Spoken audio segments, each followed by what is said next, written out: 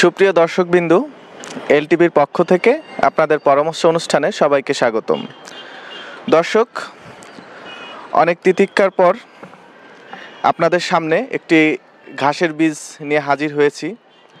যে ঘাসের বীজটার কথা আপনারা মাঝে মধ্যেই, শুধু মাঝে মধ্যে বললে হবে না, বেশ অনেকবারই আপনারা ফোন করে আমাদেরকে বলেন যে দেখুন, একটু কষ্ট করে এই বীজটা ব্যবস্থা করে দেয়া যায় কিনা।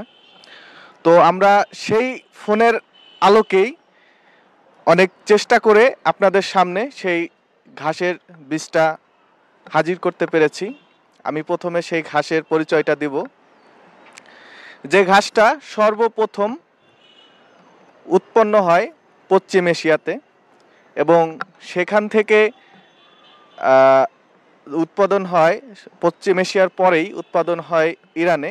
আর ইরান থেকেই ছড়িয়ে পড়ে সারা বিশ্বে। ভারতবর্ষেও এর চাষ এক সময় ছিল। তো দর্শক, সেই বীজটার নাম হচ্ছে আলফা আলফা ঘাসের বীজ। এই আলফা আলফা ঘাসের বীজটাতে আপনি যে ভিটামিন, প্রোটিন পাবেন, তা অন্য অন্য ঘাসের থেকে প্রায় চার থেকে পাঁচ গুণ বেশি। এই ঘাসের বীজটাকে প্রকৃতপক্ষে পশু খাদ্যের রানী হিসেবেও বিবেচনা করা হয়।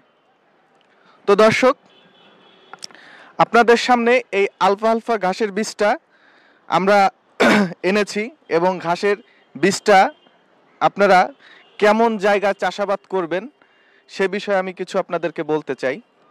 প্রথমত, এই ঘাসের বীজটা আপনি যে কোনো ধরনের মাটিতেই চাষাবাদ করতে পারবেন। তাছাড়াও আমাদের কাছে একটা নির্দেশিকা থাকবে, চাষাবাদের নির্দেশিকা।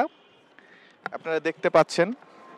এই চাষাবাদের নির্দেশিকাটা আমরা যখন ঘাসের বীজটা আপনাদের কাছে দিব, অর্থাৎ আমাদের কাছ থেকে সংগ্রহ করবেন, এই চাষাবাদের নির্দেশিকা আপনাদের সামনে, আপনাদের কাছে দিয়ে দেওয়া হবে প্রত্যেকটা প্যাকেটেই। আপনারা এটা দেখে চাষাবাদ করতে পারবেন। এই বীজটা থেকে যে ঘাসটা জন্ম নিবে, সেই ঘাসটা মূলত মিনিমাম তিরিশ ইঞ্চি লম্বা হবে। ঘাসটা পাতাটা একটু গোল আকৃতির হবে। এই ঘাসটাতে আপনি যে প্রোটিন বা ভিটামিন পাবেন, আমি আগেও বলেছি, অন্যান্য ঘাসের থেকে চার থেকে পাঁচ গুণ বেশি। তো দর্শক, এই ঘাস সম্পর্কে তেমন কিছুই আমার বলার নেই, কারণ আপনারাই আমাকে এই ঘাসের বীজ আপনাদের সামনে হাজির করার জন্য উদ্বুদ্ধ করেছেন। এই ঘাসের বীজটা থেকে যে ঘাস উৎপাদন হয়, মূলত এটা ছাগলের খাবারের জন্য খুব বেশ উপযোগী। তাছাড়াও আপনি যে কোনো ধরনের পশু খাদ্য হিসাবে এটা ব্যবহার করতে পারবেন, অর্থাৎ যে কোনো পশুকেই খাওয়াতে পারবেন। এই ঘাসটি আপনি কীভাবে কাটবেন সেটা নিয়মও আছে, তারপর আমি একটু বলি। বীজ বোনার ষাট থেকে সত্তর দিন পর এই গাছটি তিরিশ সেন্টিমিটার লম্বা হলেও আপনি প্রথমবার কাটতে পারবেন। ফসলের বৃদ্ধি অনুযায়ী পাঁচ ছয় সপ্তাহ পরে ফসল কাটা যাবে এবং বেশি ফলন পাবার জন্য আপনারা যদি মনে করেন যে আমি এই গাছ থেকে বা এই বীজ থেকে বেশি ফলন পাবো, তাহলে প্রত্যেকটা আপনার প্রজেক্টে অর্থাৎ খেতে শতকরা দশ থেকে পনেরোটি গাছে যখন ফুল ফুটবে, তখন আপনি এই ঘাসটা কাটতে পারেন। বছরে এটা ছয় থেকে আটবার আপনি কাটতে পারবেন। দর্শক, আপনাদের ছোট্ট একটু হিন্স দিয়ে থাকি।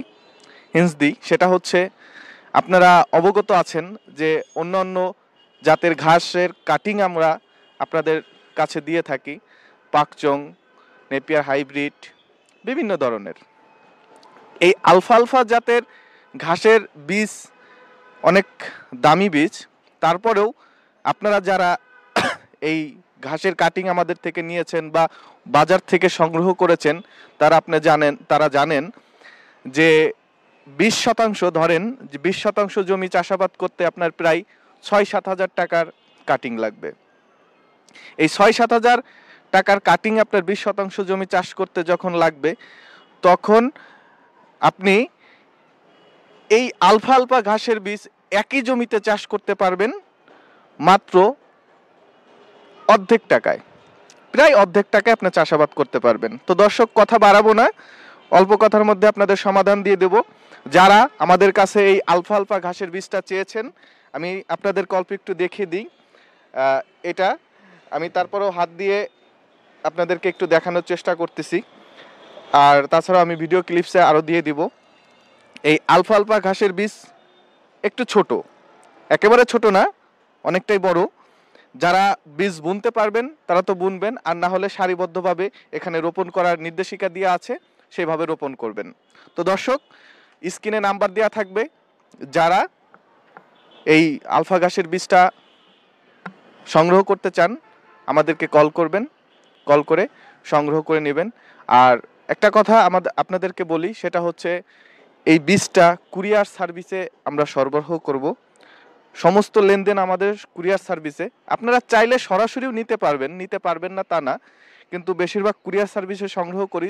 অর্থাৎ আমাদের যদি বুকিং দেওয়ার পরে দুই দিন লেট হয়, আপনারা বিরক্ত করবেন না বা বিরক্ত হবেন না। একটু ধৈর্য সহকারে আপনাদের মালামালগুলো বুঝে নেবেন, আমরা সর্বদা আপনাদের পাশে থাকার চেষ্টা করব। তো ধন্যবাদ দর্শক, সবাই ভালো থাকবেন, সুস্থ থাকবেন এবং সামনে যাতে আপনাদের সামনে আরও নতুন কিছু নিয়ে হাজির হতে পারি, সেজন্য আমাদের জন্য দোয়া করবেন। আমি আশরাফুজ্জামান, ঢাকা, বাংলাদেশ।